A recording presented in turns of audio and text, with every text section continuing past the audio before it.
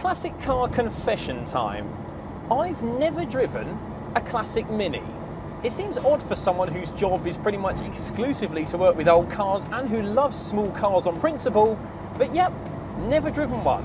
This was of most outrage to our man Jeff, whose first car was a Mini, whose second car was a Mini, and I'm willing to take a fairly safe bet that third, fourth, fifth, and probably sixth cars were all Minis as well. To this day, he's got getting on for a dozen of the things, and he claims it is the best British car ever made. But not me.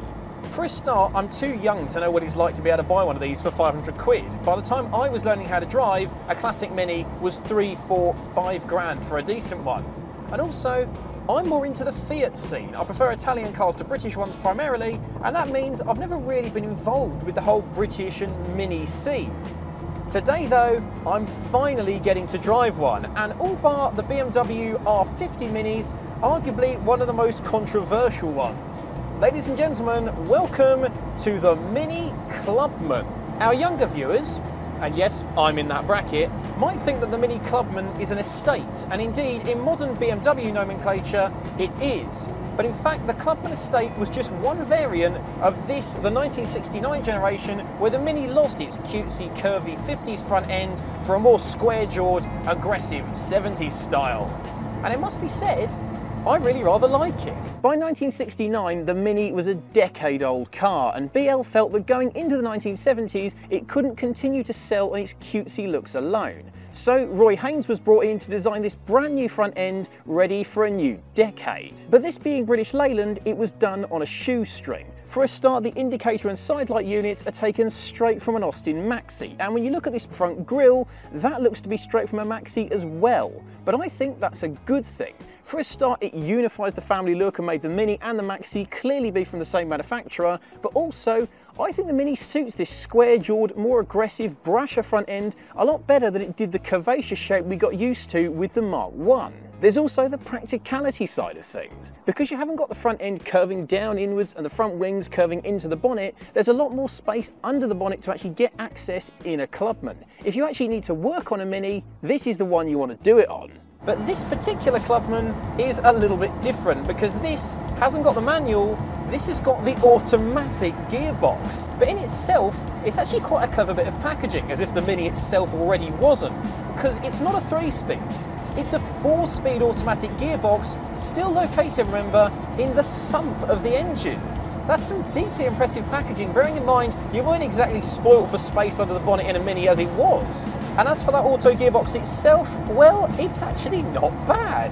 The gearing is extremely low. In fact, here's an example of just how low that gearing is. First, second, third, fourth. Top gear in about 10 seconds. But when you're on the move, it's fine. Hitting the throttle and it does kick down, it's eager. It picks up speed really rather well considering how little power it's got. That's 60 miles an hour there, that's hardly any effort at all. I can see how Jeff will have spent most of his youth bashing these down B roads at antisocial speeds, shall we say. Because it's so easy to get it up to speed and just keep it there. And it's so noisy and so bouncy, and it feels so incredibly light because it is. It encourages you to keep going. This is that mini grin. Jeff, I get what you've been going on about all this time. This is brilliant. Even with an auto, it's good fun. You've still got that A-Series whine, obviously, so don't go thinking this is a refined car. And indeed, the Clubman on the whole didn't really improve on refinement from the standard Mini. You still get minimal equipment that wouldn't be in any way alien to someone used to a Morris Minor, and the refinement is, um, no, no it isn't. In fact, these cars were so incredibly basic that up until 1973, the Clubman still shipped as standard with cross-ply tyres, even though radials were standard by the early 70s. But even after 1973, when radials became standard, you could still opt for cross-plies. And if you did, you save yourself £8 on the price of your Mini Clubman. Now that is back to basics. Leyland knew that this new front end wouldn't be to everyone's taste after the cutesy original Mini, so they offered as many variants as possible to broaden the Clubman's appeal. But perhaps the most loved of all the Clubman variants was the hot one, the 1275 GT. As well as a bit more power, the 1275 GT also got thick black stripes down the side, just as brash as the rest of the styling. You got 10 inch Rostyle wheels, and underneath them, you got Cooper style disc brakes. What's more, it was the first Mini to come as standard with a rev counter, and this being the way for the Clubman, it was cheaper to buy than the Cooper S and cheaper to insure. Yes, it was a bit slower to 60 and not quite as fast at the top end thanks to its slab nose front end, but objectively, it was the better car. And the days are gone when a 1275 GT was a poor man's alternative to an early Cooper. These days, a really good one can sell for 20 grand. That's where Coopers were 10 years ago, and I reckon if you've got a good 1275 GT, you've got yourself a bit of an investment.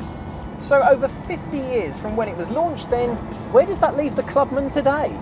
Well for me, I think it's the classic Mini that you should buy. I prefer these square-jawed 70s looks to the original Mini. They're cheaper to buy, they're cheaper to insure, it's easier to work on them under the bonnet. You've got just as many variants to choose from with the option of some fantastic 70s colours. And let's not forget, like a lot of cars from the 70s, the styling is very rapidly becoming popular. So the days might be numbered where a clubman is the cheaper option. So join the club and get what might well be the Mini at its best. Hehehe